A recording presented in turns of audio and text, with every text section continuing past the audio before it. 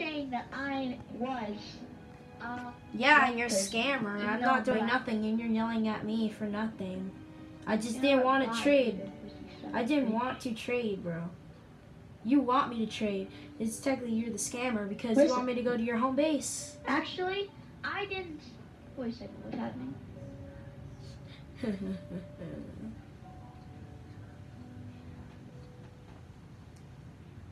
Scammer gets scammed. You just got exposed. Oh, this feels.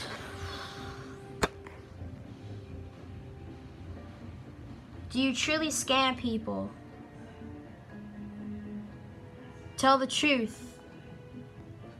Tell the truth. Tell the truth. Tell the truth.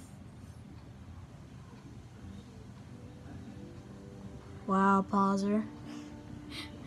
I'm doing nothing.